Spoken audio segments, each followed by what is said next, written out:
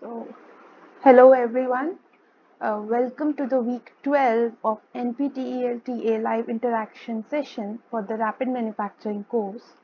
The course ID for this course is NOC22 ME74 and this is Pulkin Gupta, PhD scholar and a PMRF scholar in Department of Material Science and Engineering, IIT Kanpur. The course instructors for this course are Professor J. Ramkumar and Professor Amandeep Singh Department of Mechanical Engineering, IIT Kanpur. So, this is the last week uh, for this course, uh, wherein we have uh, majorly seen about uh, the plant simulation part and uh, how that can be done using an actual software. And uh, we have also studied about certain, or rather, three case studies for rapid manufacturing case. So uh, we'll uh, briefly discuss the contents of this week and uh, then uh, go on to solve some of the sample problems which will further uh, help you in uh, solving your assignments.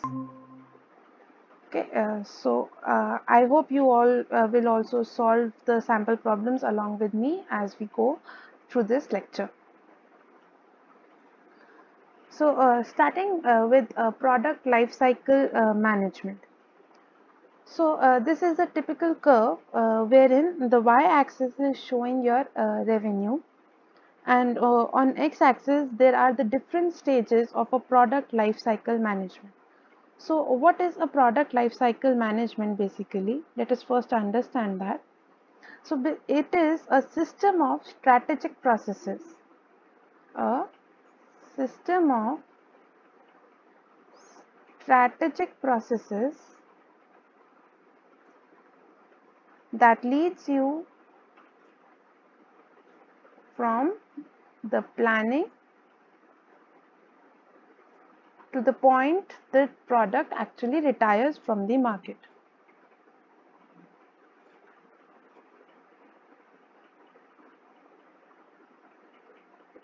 So it can be subdivided into four parts. So first this is your planning stage wherein you plan about the product. Then you go on uh, towards the development stage that is uh, wherein uh, you have uh, designed the product and now you are into actual development of the product and then you have the manufacturing wherein you have a factory scale or a very large scale uh, development of the product when your product is actually at its peak in the market and then this is your post sale support and service till the product retires out of the market. So when you initially start on planning a product, uh, what is uh, first encountered? You have an idea, you work on it, you plan how your product will uh, look like and then you launch it so this is suppose basically your launch so in that process you invest some amount of money. So that is basically your loss. Now after your uh, launch your product starts to earn revenue. So in the development stage where, uh, wherein only some people know about your product or this has not been widespread in the market you reach a break even point. So this is your break even point wherein all the money that you have invested has been recovered. All the money that you have invested is recovered. And now uh, then uh, your product uh, eventually starts uh, to have a greater market. So this is the peak of your profit. Okay of your manufacturing zone. And now uh, after a certain point when you have further modifications in the product and you have future versions of your product uh, the previous versions or the earlier versions starts to retire. So this is where your product has actually retired. Okay so uh, there is one question from mr shriyansh. Uh, he would like to know uh, how should we revise the complete course? Okay so uh, we'll discuss this towards uh, the end of this brief recap. So let us continue with this and then we can discuss about your question. Okay, uh, so uh, when and then your uh, product retires. So what our aim is, we uh, need to minimize this investment and maximize this revenue generating part. So entire this part this we need to maximize so that we have greater profits and revenues and uh, lower losses. So we want a curve something like this. Okay, so wherein this has uh, made made us to launch our product even earlier. We have reached our break-even point earlier. We have a peak uh, of uh, sales earlier and have higher profits and lower investments. So we can achieve this using certain simulations. Okay, so for this planning part we have NX software. Then uh, for this development part we have Tecnomatix. Then for this manufacturing also we have Tecnomatix. And for this last part we have Teamcenter. So all these kind of different softwares help us to simulate uh, what uh, will be the timings uh, that will be required to develop a product, how the failures will be, how much time will it take uh, to overcome those failures. All these uh, situations, presumed situations can be simulated using softwares. So this NX software is basically used for CAD and CAE which are uh, computer aided design and computer aided engineering. And this is not only limited to just the design or drawing but also to your simulations and analysis. Uh, simulation and analysis as in your stress strain simulations your strength simulations or thermal simulation if a product is working fine as per your expectations or not. So is any one of you having any question in this part uh, any any kind of doubt in this particular part?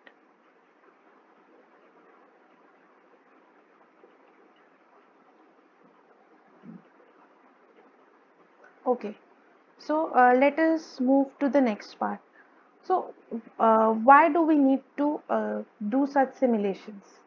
We need them so that we can uh, develop a plant layout uh, okay, so we so that we can decide on where our uh, machinery would be placed in a factory or in a plant, so that uh, the flow time for any product is the minimum.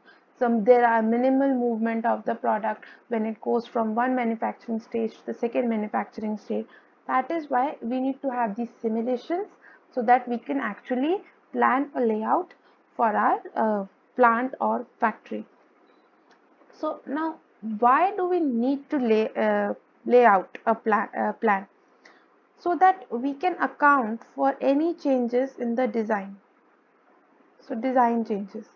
Suppose your product is having any kind of design changes. So corresponding to those design changes there will be certain manufacturing process changes as well.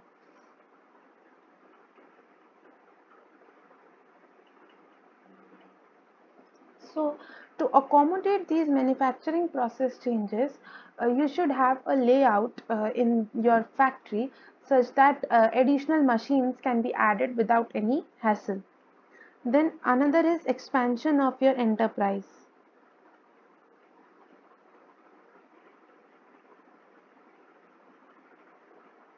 So uh, suppose today you have a company, you uh, start uh, any kind of a startup or a business you have uh, an employee of 10 uh, 10 employees in your uh, company. Now in future obviously and everyone is going to plan for expansion of their enterprise. So corresponding sorry correspondingly you need to uh, change the layout of your factories as well.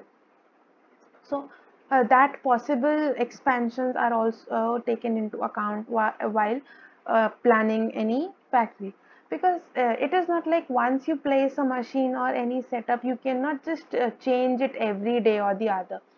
These are really heavy setups and uh, sophisticated setups which cannot be displaced every now and then. Then uh, another is uh, size of the departments. So suppose uh, you want to expand your r&d team maybe expansion of r&d or maybe just the expansion of your technical staff? Okay suppose you have already have three milling machine and now you want to add two more milling machines. Okay so suppose you plan like today i am going to set up only two milling machines in my uh, factory. But in future as and when i start to generate revenue i plan to add five more to scale up the production. So that addition should be taken into account uh, while uh, planning your layout. Or uh, if in case in future you want to add any new plant or any new department so that should also be taken into account. Say suppose today uh, you start your company without any r&d facility just the ready technology that uh, you have. But in future you want to develop your own uh, r&d as well. So uh, you have such plans. Then you can um, just uh, leave some space or plan your uh, factory or plant in such a way that there are certain uh, spaces available. Say for example you open a hospital now and today you do not have any cardiology center but in future you plan to incorporate one. So you just plan the architecture of your hospital in such a way that there is no hassle uh, when you plan to add your cardiology center. Okay? Now next is uh, what are the various type of plant layout systems? Can any one of you uh, mention uh, these plant layout systems? Uh, what are those uh, mr vedant or mr shreyansh or Satyarth. What are the different kind of layout systems that are usually followed?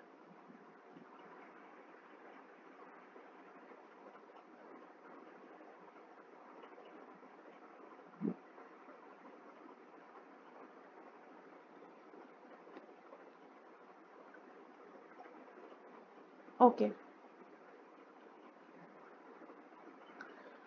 the different kind of plant layout systems that are usually followed are first is your process layout.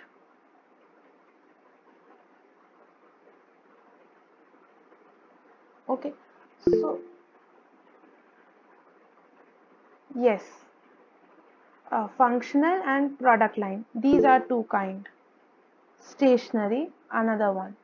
Okay so process layout or also termed as the functional layout. So in this layout uh, you divide your uh, systems in um, the with respect to their functionality with respect to the process they are performing. For example all your turning machines that is lathe they are set up in one room. All your uh, drilling machines in one room okay so they are set up individually in individual rooms. Then this is your process layout. Okay wherein you can say one kind of a process occurs at uh, in one particular room. Okay so one single kind of a process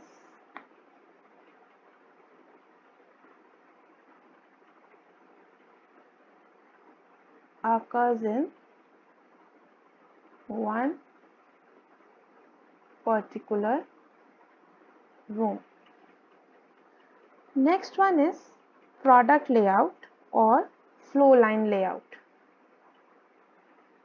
Okay, product layout or flow line layout.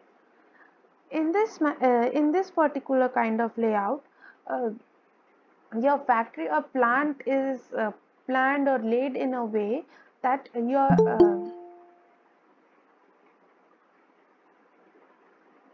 that the uh, product follows a sequence or follows a line okay so suppose this is your entry point of the product and this is your exit point of the product.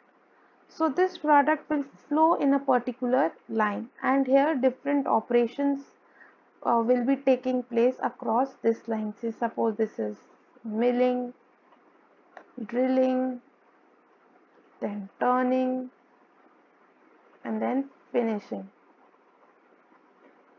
Okay, so different kind of processes occur, occurs through that line or this can be if it want uh, if the product needs milling again this can be milling again. Okay? So it is not discretized on the basis of the product or uh, on the basis of the process but uh, this is laid out in such a way that uh, the product uh, goes uh, into the manufacturing parts in a sequential manner okay layout in which the product follows its manufacturing cycle sequence in a sequential manner.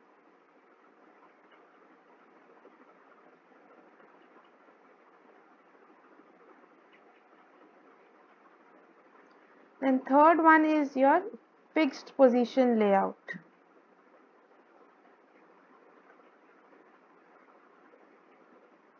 okay? So in fixed position layout the positions uh, of uh, your products and processes are fixed and uh, they are made at their own very places. Now fourth is your combination type.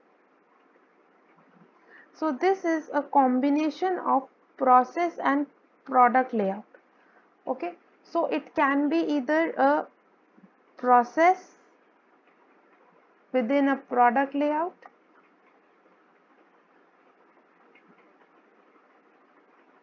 or a product within a process layout. Okay? That is e either the process layout can be a subset of the product layout or a product layout can be a subset of the process layout okay oh, so this is a bit confusing is it clear or uh, shall I explain it again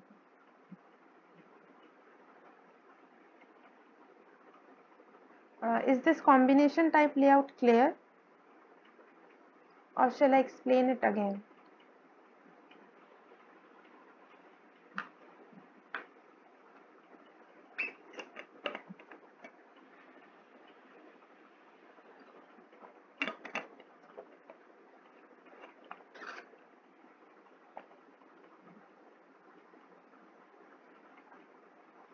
Okay, I assume it is clear and the last one is a cellular layout.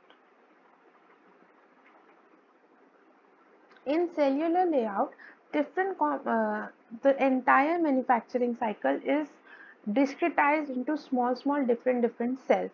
So for example, in a cycle manufacturing company, so you have your rings made in a particular cell, spokes made in a particular cell, then there is an assembly uh, assembling of the ring and the spokes.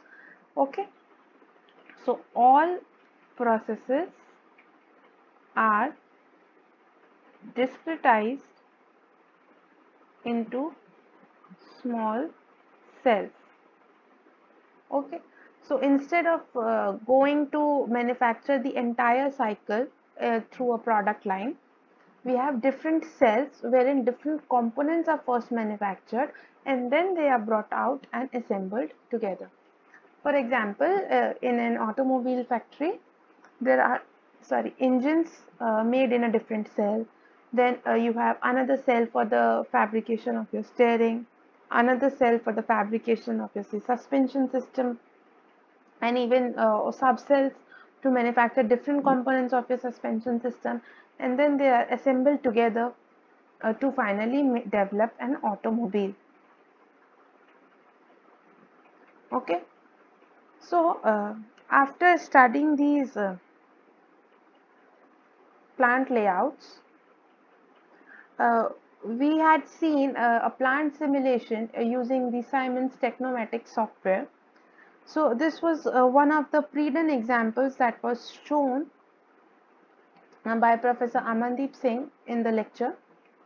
So herein you see this is the entry point.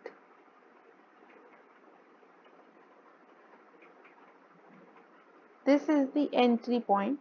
Here your cars are entering. Okay. And then they are transferred into these overhang conveyors.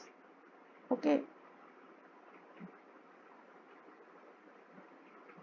So these cars after entering they are transformed into these overhang uh, and rotating conveyors. You see and then there are these are the workers and these are their workstations. Okay. Now you see these workers, uh, this car is rotating and these workers are assembling or fixing some component. Some component is being fixed here. Okay now this goes on. There are multiple workers across this line. Okay so you see there are multiple workers across this line and they are working in a simultaneous fashion. Okay now when these operations are completed these cars are brought to their original position and taken out sorry and then uh, taken out from these overhang conveyors at this point. Here they are taken out from these overhang conveyors. And then from here they are made to exit this particular uh, frame or this particular floor of the workshop then they go on to the second room for another kind of work. So here uh, in this particular simulation it was shown how the total time can be calculated how uh, it can be calculated in a particular time frame how many products can be developed per day per hour or the total number of products and it uh, can how it can also be calculated um, like uh, what are the failure percentages how much time will go uh, in if any if any uh, operation of this cycle uh, fails. Okay so all these information can be taken from this particular uh, simulation software. So let us understand the different components of this software briefly. Sorry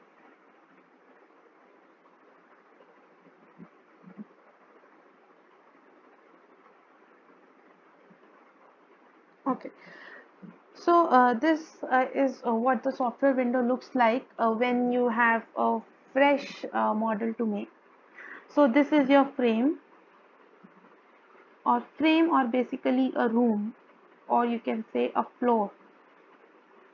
Okay wherein one type of operations are done.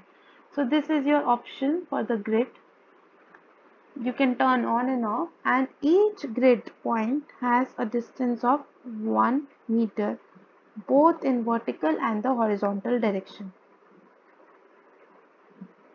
Consecutive grid points are arranged at a distance of 1 meter both in horizontal and vertical direction. Okay. So this helps you to scale, scale uh, how much is uh, how much is the distance being traveled uh, by a component uh, by a product from one process to another process okay so let us revise each of these components. So uh, first is our entry and the exit points. So this is the drain which is your exit. And this is your source which is correspond to your entry. Okay? Now uh, can anyone tell me what is the function of this connector? Mr. Vedant or study our earth. What is the function of this connector?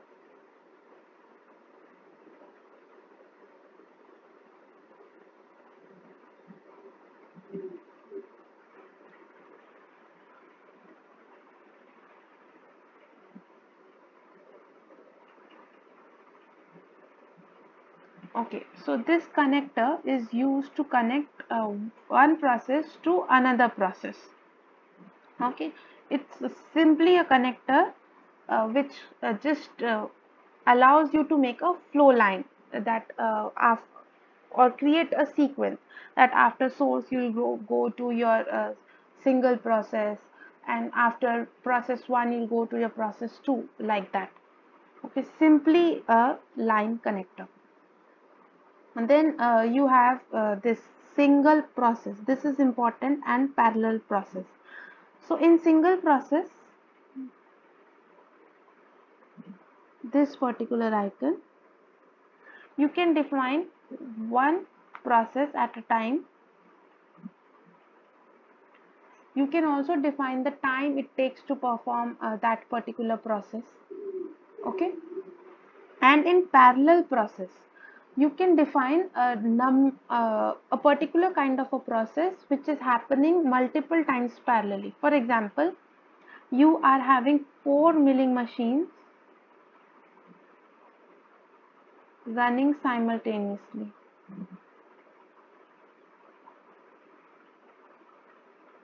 Okay, so for example, if uh, your uh, second, uh, say this is your source this is your process 1 this is your process 2 okay. So this is flowing like this. Now suppose your process 2 is a faster process and your process 1 is a slower process. So what happen is uh, this process 2 will have to wait till the process 1 um, can uh, actually uh, complete its operation. So what you will do is you can apply parallel processing. That is you can apply multiple machines performing the same operation in parallel. Okay. So for example, you are having four milling machines. Now this uh, this will fasten up as there are four machi sim uh, machines simultaneously doing the work. So now the wait time for this process 2 will reduce. So for that purpose this parallel process is used. Now there is this assembly. So for example you are having two different components say nuts and bolts being manufactured in two different lines. Now you can just connect them with an assembly wherein both of them will be assembled together before actually going to exit then you have dismantle section so opposite to assembly you have to dismantle two objects.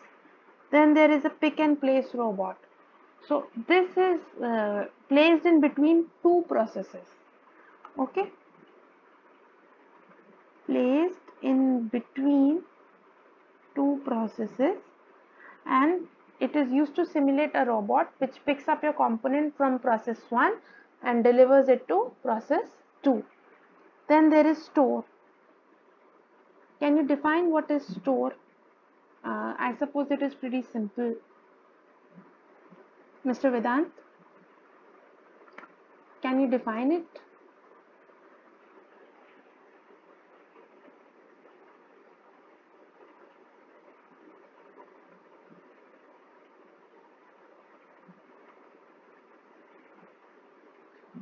Okay.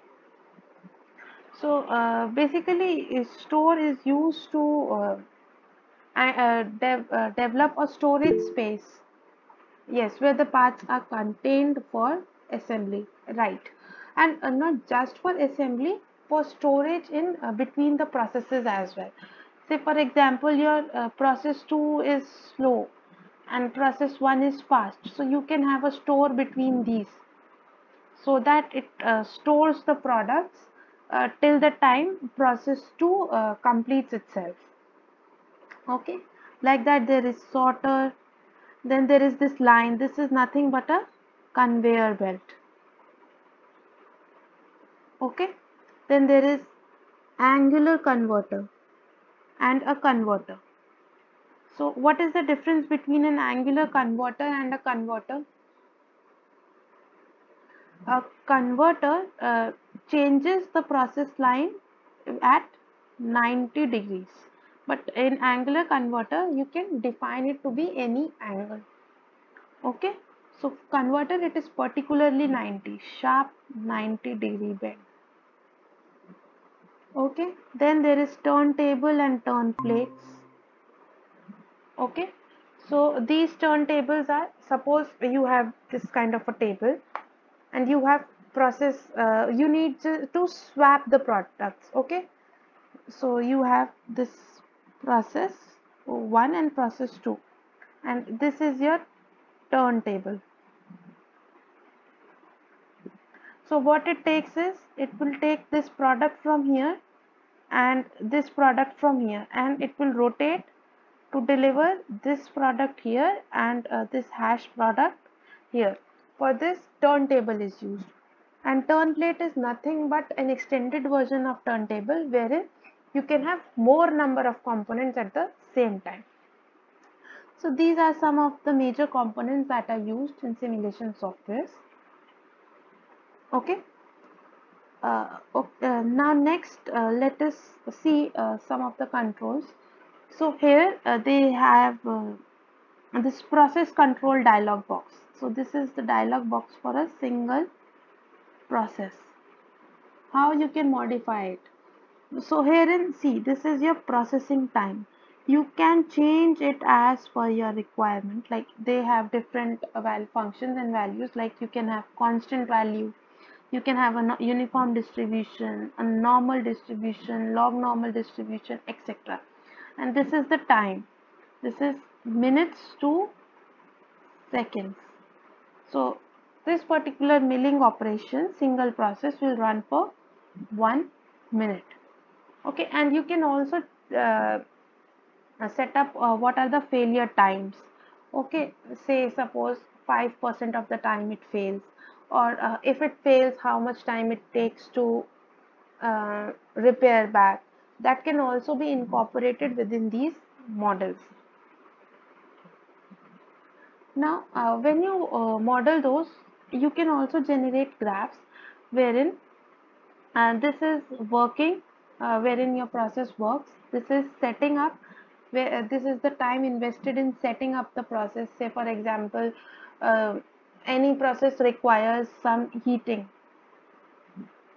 preheating, like in additive manufacturing you require preheating of powder bed so this will come in setting up so what time does it take in setting up for before the actual manufacturing operation?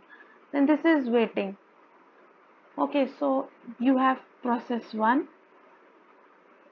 process 2 okay this is fast. This is slow. So now this process has to wait for some time. So how much time is uh, going in waiting blocked. Okay? So uh, blocked as in uh, wherein um, the system is not able to uh, just uh, what do I say? The system is uh, not able to take up the number of products that are being sent by the assembly line. Okay so it is blocked.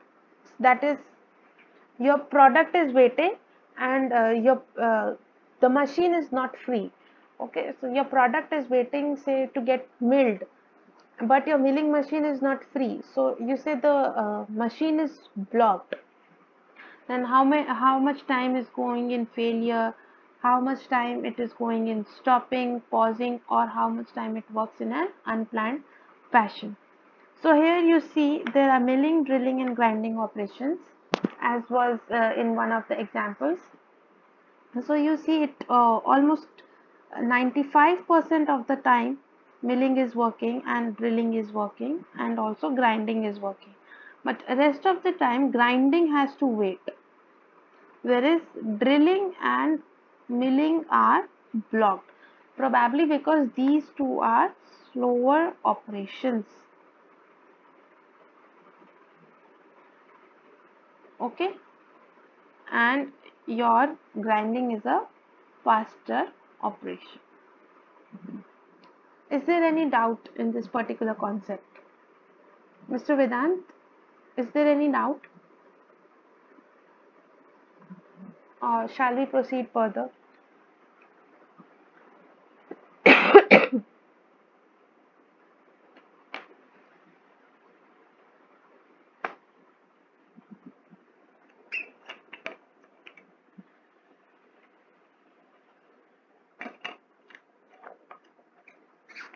I think can proceed further. So then uh, there were uh, rapid manufacturing case studies. So first was uh, medical application. Okay, so we saw three case studies. One was medical applications, one was automobile application, and uh, other was for aerospace application. So for medical application, uh, it was uh, done by this case study is from Pros Lab in Australia, Canterbury, Australia, wherein they ensure absolute accuracy of uh, removable partial dentures. Okay. So uh, they ensure uh, absolute accuracy with additive manufacturing technique for these removable uh, dentures. So you see uh, these uh, teeth as you know they are a kind of free form surfaces. Okay? Um, just a minute. Yes. So uh, for removable partial dentures so these teeth are free form surfaces and it is not easy to manufacture them uh, with accuracy. Okay, so initially uh, what was the method? They used to scan and get the 3D uh, data cloud, 3D point data cloud by the means of reverse engineering and 3D scanners that we had studied. Okay? Sorry. Uh, it is 3d scanners and reverse engineering. Sorry. 3d scanners and reverse engineering. Now after they have these uh, data cloud that means they have this CAD file. They used to print resin okay. Now that resin was used to develop uh, these lost wax patterns. Okay. This was then used to develop these lost wax patterns.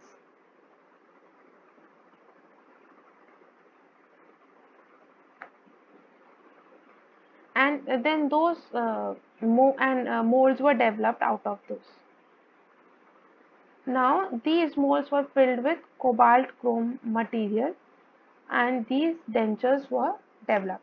Now because of uh, this wax and all these things involved, there were a lot of errors and the products that were developed were not accurate and they needed to go uh, through uh, to these again a finishing and post processing operation.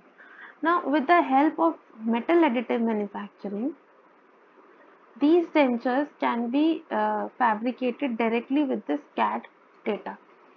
So we can have maybe a powder based process or an EBM process wherein we can have cobalt chrome powder and uh, then we can directly additively manufacture these dentures. So you see this is uh, one of the 3D uh, printed dentures wherein this is your actual material and these long columnar bars they are your support material. So this uh, provided a very viable solution to this medical industry. Okay. So with this they could uh, make these dentures with very high accuracy and almost 0% uh, errors. Okay, and uh, their remakes were also um, drastically reduced or almost dropped uh, to zero. In case of lost wax casting, they had to undergo remakes like first product failed so they had to remake it. Second also failed they had to remake it. Third also failed they had to undergo this remake and process again and again. But with this additive manufacturing they didn't have to undergo this uh, remake process. Another was this automobile application uh, so metal 3d printing that pushed the boundaries in uh, motor 2 through defined uh, innovation. So this was used in bike racing wherein uh, they intended to uh, isolate the suspension from the steering forces. So you guys might have studied that steering uh, forces uh, highly affect the suspension which further affect the performance. So in order to win a bike race kind of a competition, it is necessary uh, that they isolate these. So initially and this uh, the wishbone this is the wishbone of the suspension front suspension. Okay so it was uh, initially made in 12 parts. So this is 1 2 3 4 5 6 7 8 9 and other parts on the other side. And they were welded together. And uh, you all know that these bike racing competitions and moto uh, kind of competitions in these these bike go on at a very high speed. And if if at all there is a small jerk even these wells can open. These wells can open and disrupt the structure okay so additive manufacturing paved the way to develop these into a single integral component.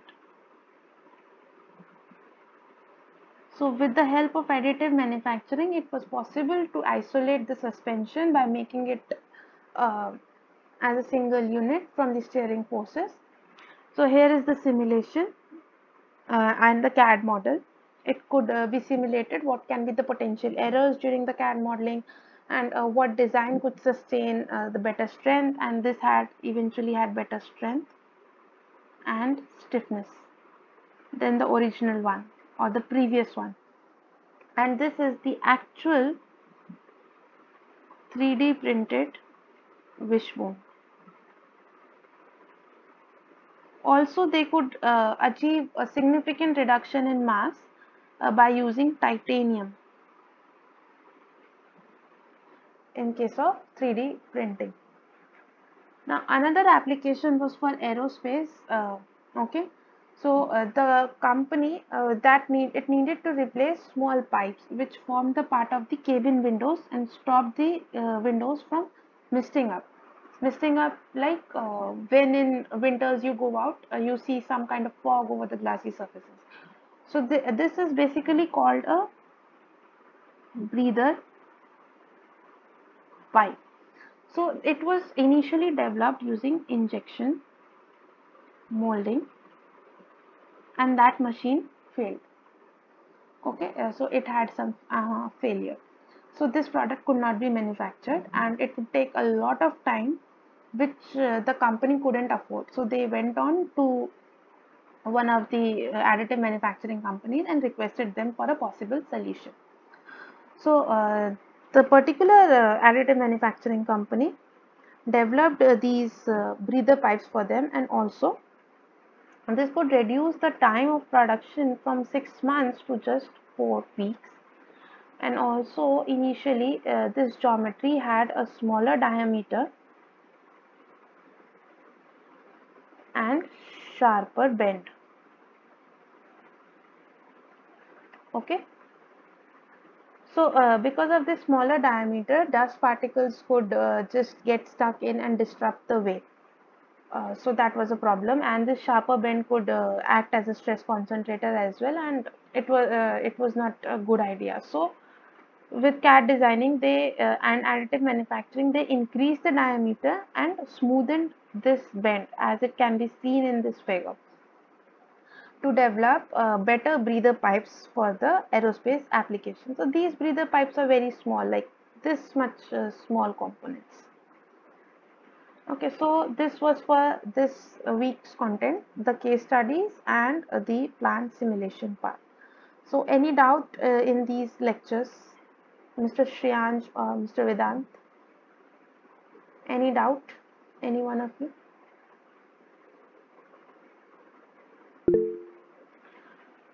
Okay. So uh, coming to the question of uh, Mr. Shriyansh, uh, how to revise the complete course. I understand that this is a uh, like very extensive course, but if you go in a sequential manner and understand each important concepts, so try to understand the concepts uh, and relate them with the actual li uh, real life problems and industries. So start with basics and concepts of everything so you can have basics of rapid manufacturing, then go to rapid tooling, rapid prototyping, and understand the physical principles and working principles of each of the additive manufacturing techniques uh, very clearly. And try to relate everything uh, with the real life situation. You see how complex uh, every manufacturing cycle can be and how additive manufacturing come to the rescue. Uh, so, Mr. Shriyansh, did you get any idea uh, of how to revise?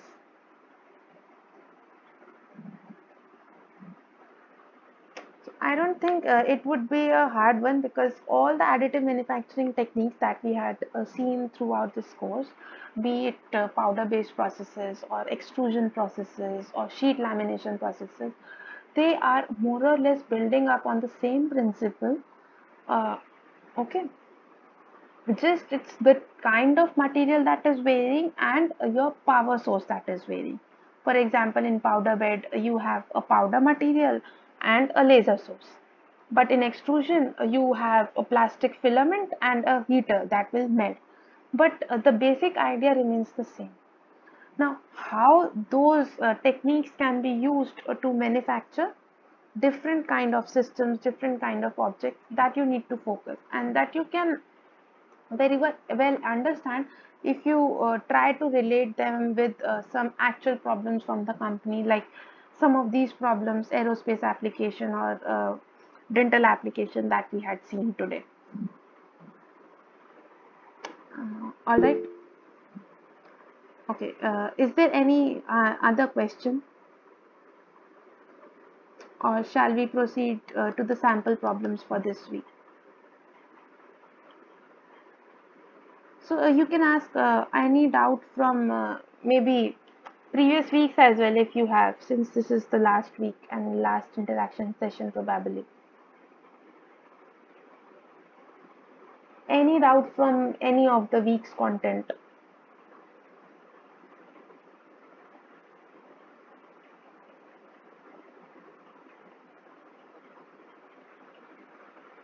Like uh, any additive manufacturing technique or the concept of rapid prototyping.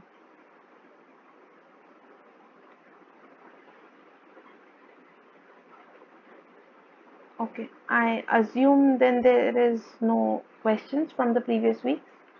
So uh, let us move on to some of the sample problems. So achieving a high level of accuracy uh, with lost uh, wax casting is not easy. True or false? What do you think, Mr. Shriyansh, Mr. Vedant? True. Uh, Mr. Shriyansh, what's your response?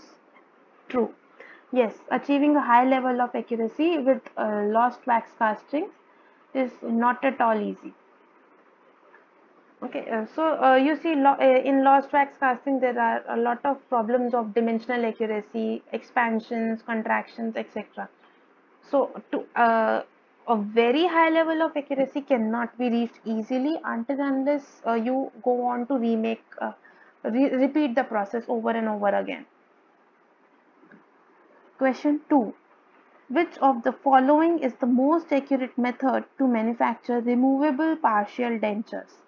We have just uh, seen the, this in one of the case studies slow manufacturing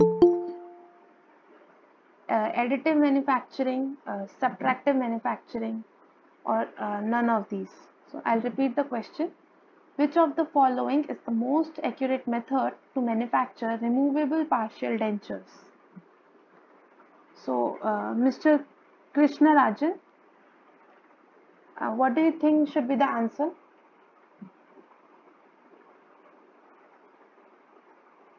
You can type in the chat box. Mr. Shriyansh, uh, Mr. Vedant, please send in your responses as well. What do you think? Uh, we had just seen this in the case study.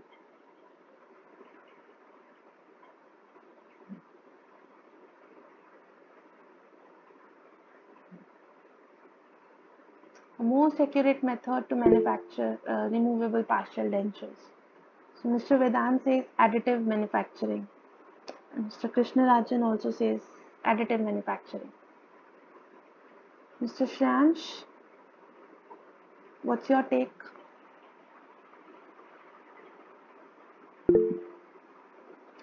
Uh, subtractive manufacturing. Okay, uh, so subtractive manufacturing is not the right answer, Mr. Shriyansh. The correct answer is additive manufacturing. We had just now seen, uh, let me go back to that slide. Sorry, uh, yeah, this one. So in medical application, uh, this uh, case study was from uh, ProSlab Australia. They had replaced this lost wax casting process with this additive manufacturing process, metal additive manufacturing. Okay, so it is uh, not easy to manufacture uh, dentures with subtractive manufacturing. Earlier also uh, there were castings used to develop these dentures. So additive manufacturing has come as a viable solution because you can develop free from surfaces with ease using additive manufacturing. Free form surfaces as in teeth geometry can be easily fabricated using additive manufacturing okay with the help of supports.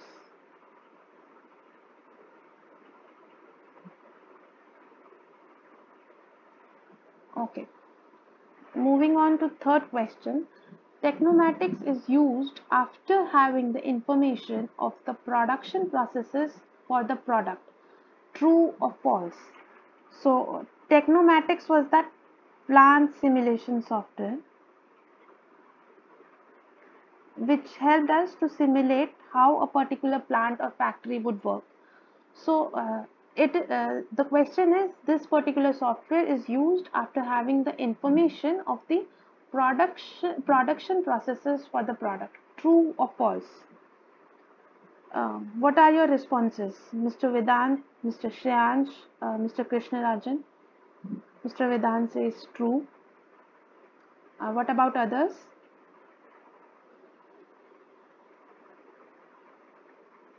true or false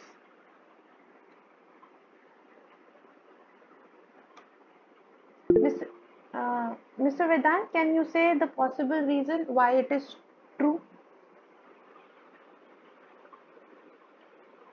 Mr. Shriyansh also said it's true. Can any one of you say what is the possible reason? Why is it true? Uh, yes, Vedant, Mr. Vedant. What is the reason?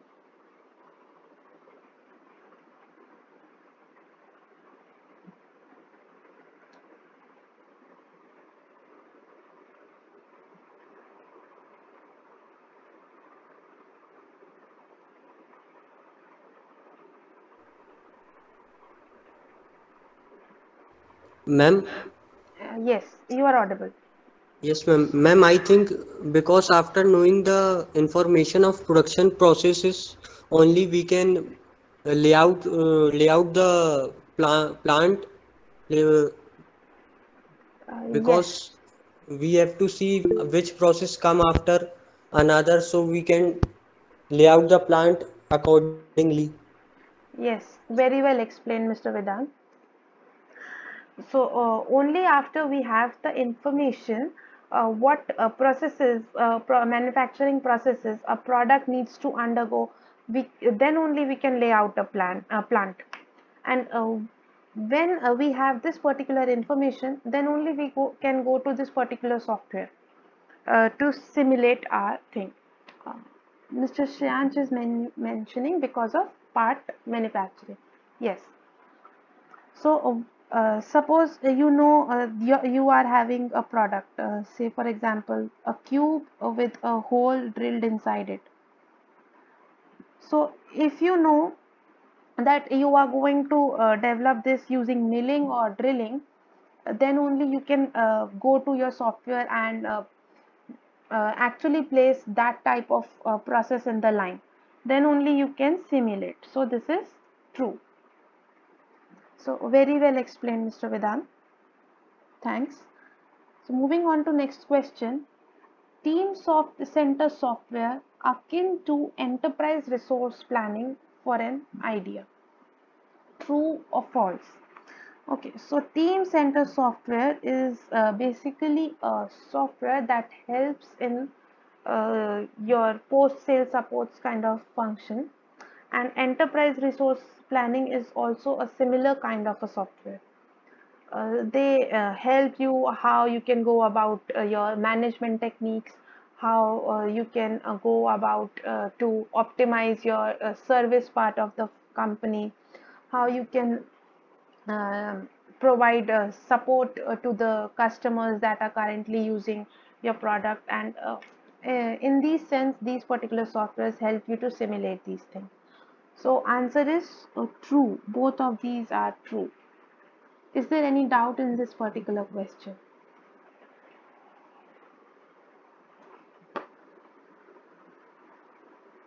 Any doubt, Mr. Vedant, Mr. Shriyansh, uh, Mr. Krishna Rajan?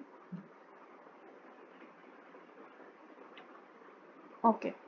Mr. Krishna Rajan, uh, do you have any doubt? Okay. Moving forward to question 5. Uh, study of plant layout can only be carried out when a new factory has to be set up. True or false? So, uh, what are your responses, Mr. Krishna Rajan, Mr. Shriyansh, Mr. Vedant? Can you uh, study plant layout uh, even when uh, a new factory need not to be set up?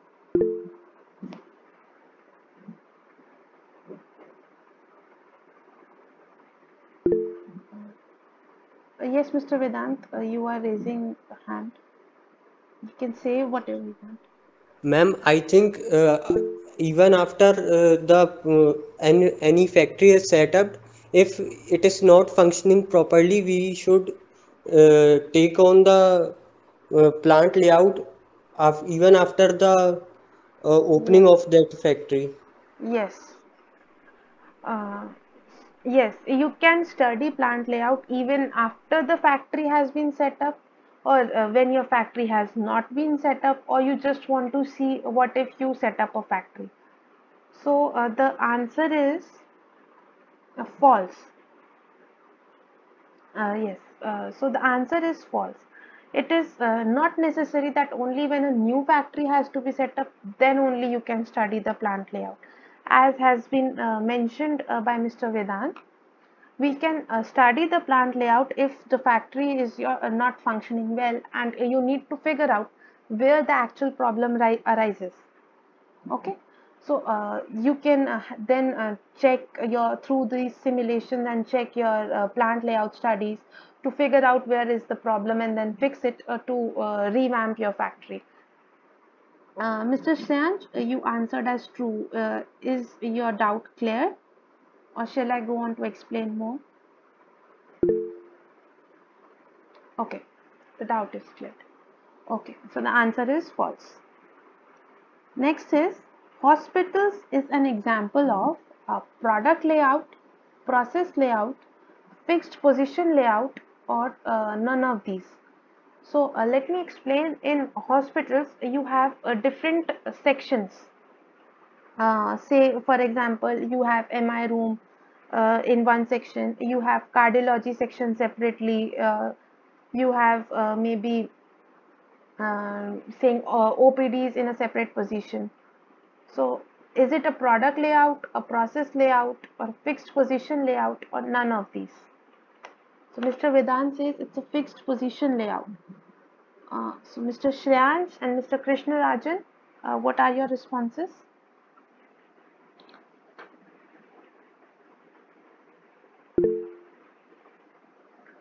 Mr. Shriyansh is also saying fixed position layout. Uh, Mr. Krishna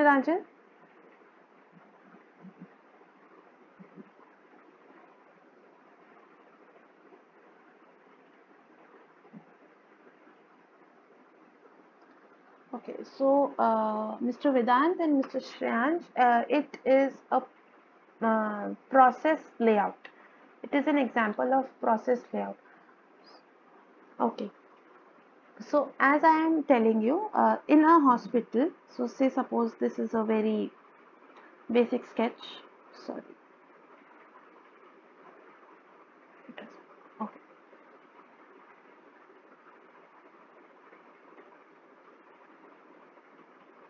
What is happening? Yeah. Okay, so suppose this is your hospital.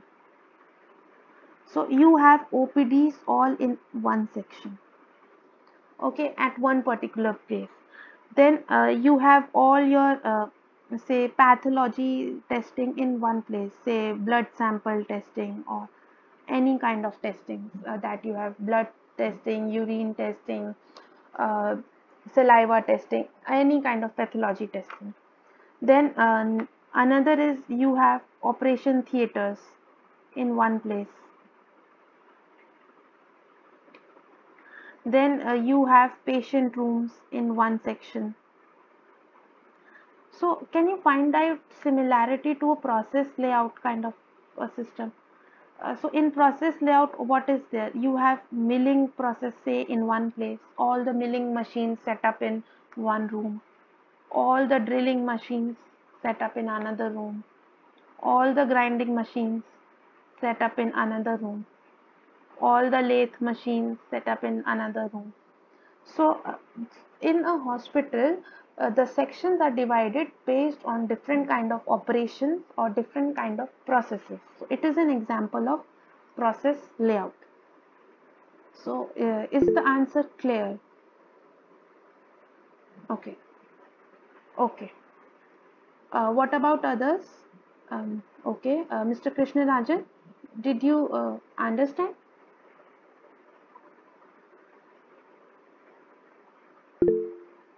okay so let's move forward. Uh, when we have automated process with a large sample size, we can choose triangular distribution, uh, normal distribution, beta distribution or uh, none of these. So uh, in the lecture, if you might have noticed, uh, this has been mentioned as normal distribution. We can choose this as a, a normal distribution because uh, the rest of the distributions they are for smaller sample sizes. So in an automated process uh, when we have large data set we go for uh, normal distribution in automated processes. Uh, so is the solution clear to all three of you? Uh, Mr. Vedant, Mr. Shriyansh, Mr. Krishna Rajan? Mr. Vedant?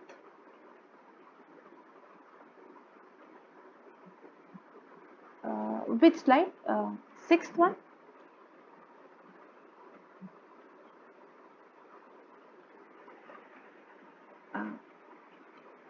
Which slide you are mentioning? Uh, for this question? Okay, for this question, uh, we do not have a kind of slide. Uh, this was just uh, mentioned in one single line uh, in the lecture.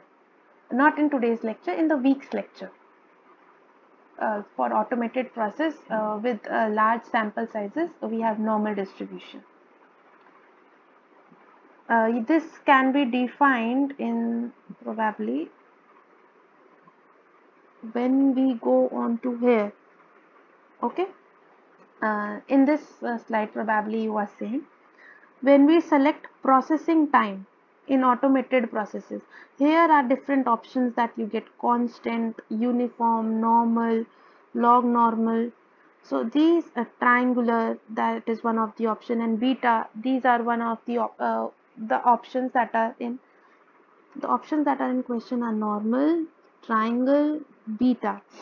So uh, when particularly in case of uh, large data set, we choose this normal option uh, in processing time. you can get this uh, by right clicking on the single process in this software. This is uh, related to this software. Okay, uh, is it clear Mr. Vedant?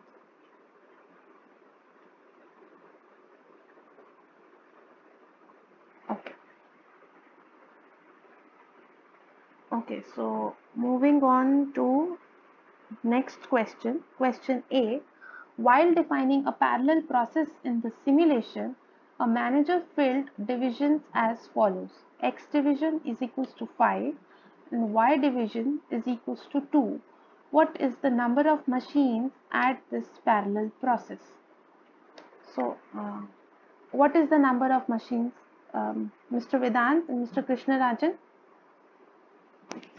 2, 3, 10 or 25.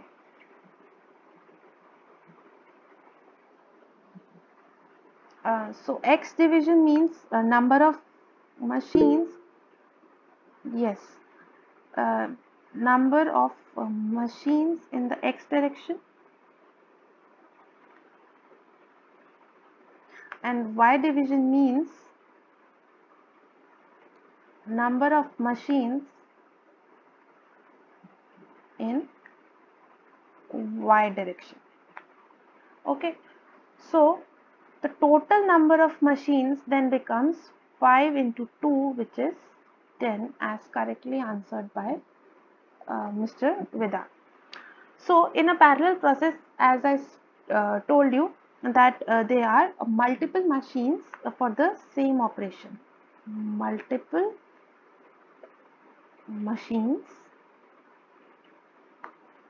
for the same operation. So like I told you this is your process 1, this is your process 2, this is a faster one, this is a slower one. So so that this do not have to wait we uh, put in multiple machines here. Okay so say suppose we place 4 machines so it's it this process will be speeded up by four times. So this wouldn't have to wait more. So now uh, when you define this in the software you have to give numbers as x division and y division. So this basically makes a matrix. So this is your x division and y division. So suppose this is your process line. So then you will have uh, 5 machines along x and 2 along y making a total of 10. So 1, 2, 3, 4, 5, 6, 7, 8, 9 and 10. So when you input uh, they are inputted uh, x cross y manner. So is the question clear Mr. Vedant and Mr. Krishna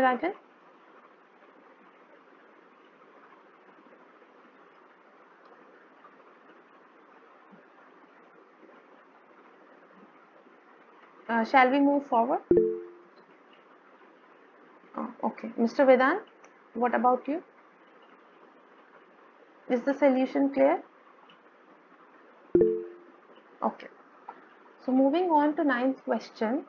Directly printing from a CAD file reduces the number of in-house remakes due to error by dash 20%, 45%, 90% or 100% how many times that is uh, do you need to remake still uh, what should be the correct percent mr vedant and mr krishna rajan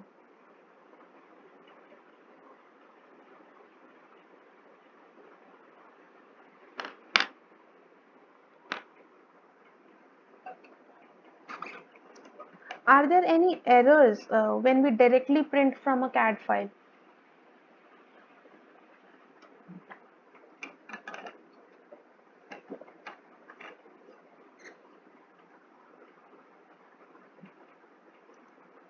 uh, uh, yes, there are uh, eventually no errors. So the uh, number of remakes are reduced by 100%. The answer would be 100%.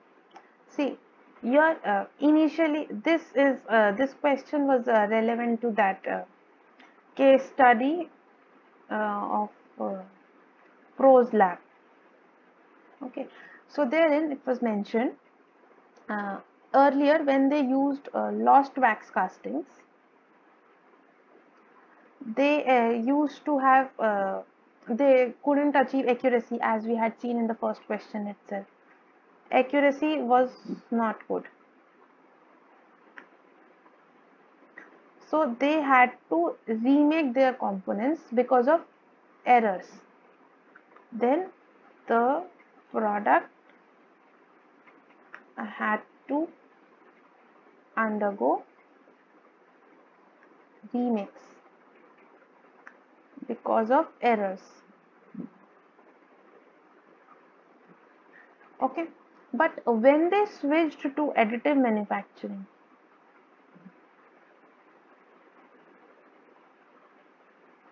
their accuracy increased drastically or significantly. And number of errors dropped to almost 0% so remakes were also almost zero. They didn't have to uh, do any remake. So this remake was reduced by 100%. So from say x you go to 0. What is the reduction? 100%. Is the solution clear Mr. Vedant and Mr. Krishna Rajan?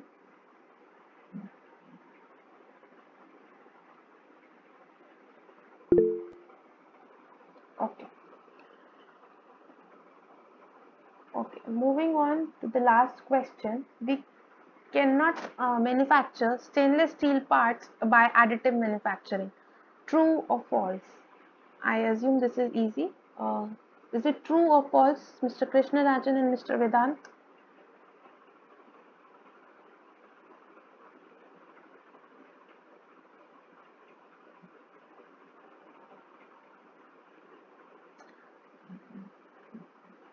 Can we make stainless steel parts by additive manufacturing?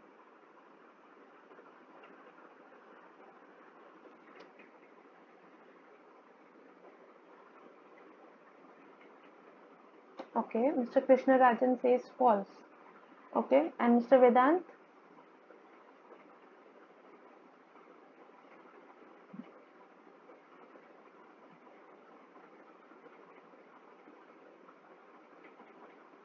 Okay, Mr. Krishna Rajan, your answer is correct. Uh, we can make stainless steel parts by additive manufacturing. We can make uh, stainless steel uh, parts by additive manufacturing. One of the example is 316L stainless steel which is extensively used in additive manufacturing metal additive manufacturing rather. Okay. So uh, uh, uh, is the solution clear? Or uh, this was the last question for today. So uh, do you guys have any kind of doubts? Any kind of doubts from any of the week's content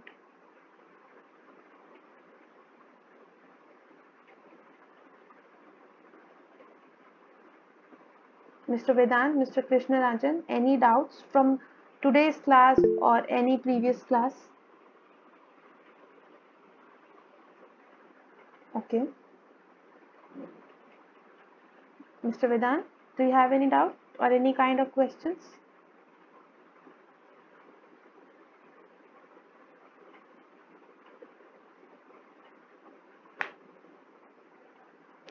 Okay. So I think uh, Ma'am, the final exam will be uh, like problem solving session or like the quiz. Okay, so I do not have any idea about how the final exam will be. So it is in online mode, I suppose, computer based exam. So I do not have any idea, so I cannot literally comment on that. But I assume it will be like, uh, so it won't be a numerical based one, probably because there were no numericals in the course. Uh, but uh, I have no idea about that. Sorry, Mr. Vedant. Is there any question? Any more question?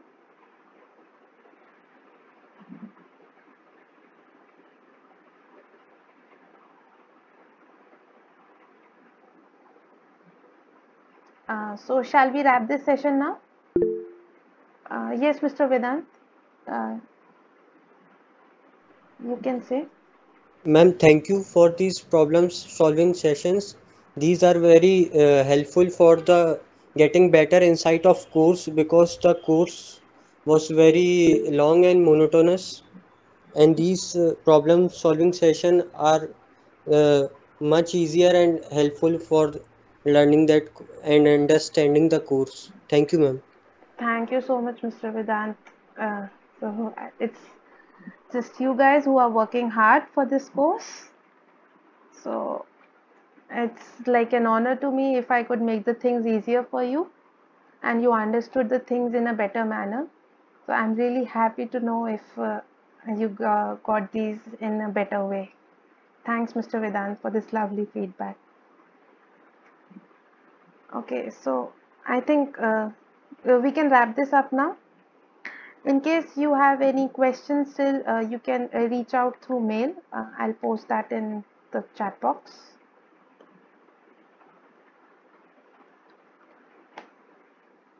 Uh, you can reach out to me through this uh, mail anytime and I would love to answer your queries.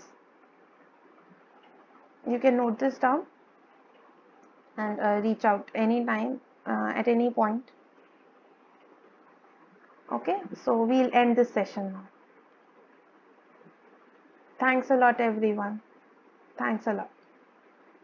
Okay, so all the best for your exam. Do well, prepare well, and uh, hope you enjoyed the course. Thanks a lot. Uh, I'll end this session now.